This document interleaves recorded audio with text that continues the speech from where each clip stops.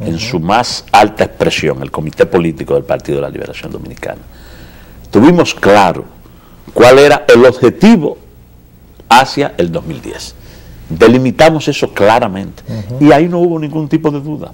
Y hubo absoluta unidad de criterio en torno al apoyo a los candidatos eh, en todo el país, en, tanto en el, nivel congresional como en el nivel municipal.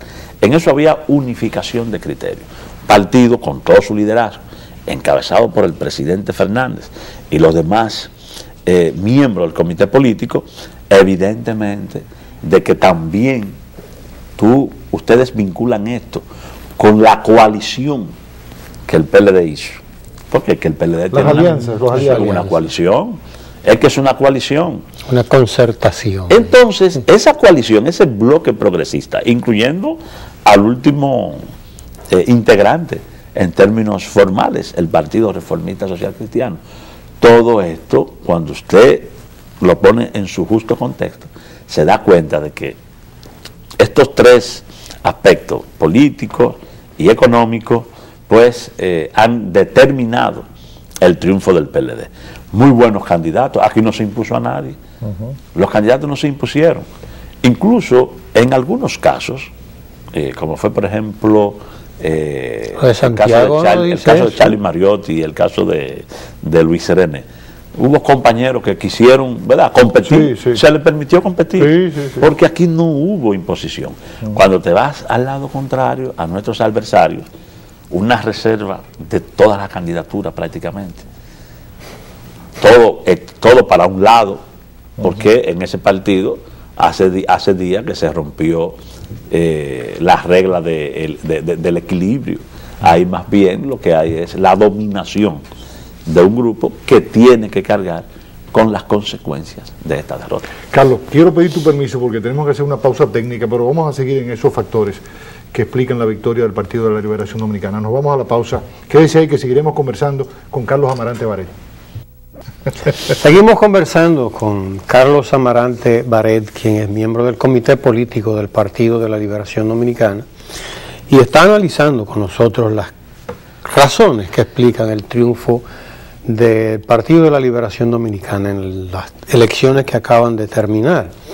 Eh, mencionabas un triunfo arrollador. No ha sido arrollador, por lo menos creo yo, pero así lo ha percibido el Partido Revolucionario Dominicano, que se ha resentido, se resiente a admitir lo que ha, visto este mapa morado, les ha puesto realmente en, en, en apuros, en aprietos grandes. Pero si vemos el mapa en su justa dimensión, incluimos no solamente lo senatorial, sino también a, a las diputaciones, y el Partido Revolucionario Dominicano ha salido con una importante cantidad de diputados. Y en el mapa municipal, 75 diputados.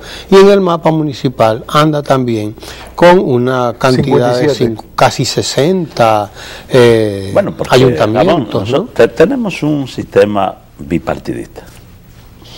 Y claro, eh, cuando tú aplicas la, ley de la proporcionalidad, evidentemente de que eh, las dos partes se reparten más o menos equitativamente. Método de Hunt. Exacto, el asunto de los diputados y de los regidores. Eh, cuando se aplica este método para la asignación de, de los escaños, eh, sobre todo de la Cámara de Diputados. Cuando tú ves el mapa senatorial, entonces aquello no es arrollador, fulminante. por eso es, por eso es el problema. Si el PRD hubiera tenido cinco es el punto blanco ahí no estuviera dando carpeta. Lo que sucede es que aquello es descorazonador, aquello le tumba la moral a cualquiera. Es lo que ha pasado en el PRD. Pero si te vas a los municipios, aunque el PRD obtuvo importantes victorias en municipios importantes. Casi la mitad de los municipios cabecera, eh, Sí, eh, ganaron, ganaron varios. Ganaron ahí incluso en Moca, tu patria chica. Así es, así es. Santiago y aquí. Salcedo. Eh, sí, Salcedo. Dentro del Gran Santo Domingo San, San Cristóbal. San Cristóbal. Sí, sí, eh, porque en el terreno municipal se da otro tipo de correlación de, de fuerza. Aunque allí también eh, predomina el Partido de la Liberación Dominicana, que de 68 pasó a tener 92. Sí, 92. Es decir, el PLD tuvo un crecimiento significativo. 24. Tiene alrededor de 140 juntas de, de distritos. Es decir, yo sigo insistiendo que es un triunfo arrollador, es un triunfo demasiado. Pero no hay tal importante. amenaza a la democracia, Bueno, al porque sistema ya, democrático porque ya, del país. porque ya No eso es parte de, ya eso es parte de, Que de- se ha querido manejar eso, ¿no? De la claro, amenaza. eso, es de- parte de tratar de crear algún temor.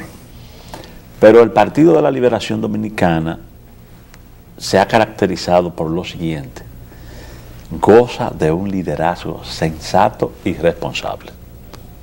La responsabilidad es una característica del liderazgo PLDista. El galloloquismo no existe en el PLD. Y entonces, ¿qué puede esperar la sociedad dominicana de la mayoría eh, congresional que tiene el PLD? Pienso que lo que vamos a obtener en estos seis años es más democracia. En vez de ver limitaciones a la democracia, lo que vamos a tener es más democracia.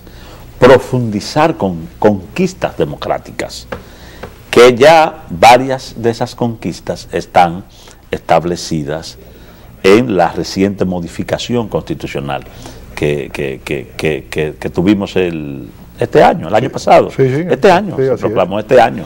La proclamamos el 26 de, Sí, así de enero. de enero. Día de Duarte. Entonces, eh, a lo que vamos realmente es a un ejercicio responsable de esa mayoría. No creo, lo confieso. Algunos pueden anidar eh, preocupaciones, otros, incluso dentro del partido, podrían estar creándose falsas expectativas, pero no creo que el liderazgo mayor del PLD, que lo encarna Leonel Fernández, vayan a hacer lo que hizo Hipólito en el año 2002. Es decir, después de un triunfo importante que tuvo Hipólito En Mejía el 2000. en el, en, 2002, en el- en el en el 2002, 2002, claro, Sí, sí, sí, sí. 29 senadores. Le faltaban dos o tres votitos para completar una reforma constitucional Dilapidaron poder. espuria. Yo no veo a Lionel haciendo actos espurios en el Congreso. Entonces, lo que veo más bien es un partido que no avasalla, que al contrario mantiene sus puertas abiertas, tanto al Partido Revolucionario Dominicano como a la sociedad eh, civil, para las grandes reformas que están pendientes en términos de legislación que se derivan de la modificación que se le ha hecho a la Constitución de la República. Por tanto, eh, no creo que haya por qué preocuparse. Y si tenemos una mayoría tan abrumadora en el Congreso, los PLDistas lo que tenemos que hacer es eh, tener esa mayoría con humildad, sin avasallar a nadie, sin arrollar a nadie, porque realmente eso también implica el ejercicio de una gran responsabilidad.